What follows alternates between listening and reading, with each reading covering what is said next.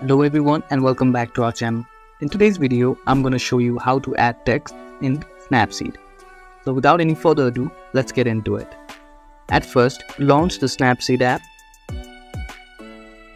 Here, click on the plus icon to add image that you want to edit.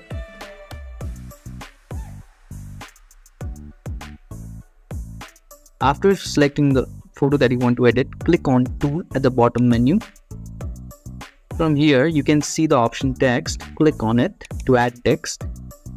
Double tap on the text to edit the text. Once you enter the desired text, click on OK. Now, we can also add different style to our text by clicking here. Now, from here, you can choose different styles of fonts. You can also increase or decrease the opacity of your text from this slider.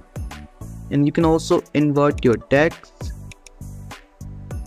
And to change the color of the text you can click here and choose the color of your text. And once you're satisfied with your text simply click here to save changes.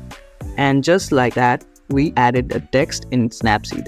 If you found this video helpful don't forget to give this video a thumbs up and subscribe to our channel for more tutorials like this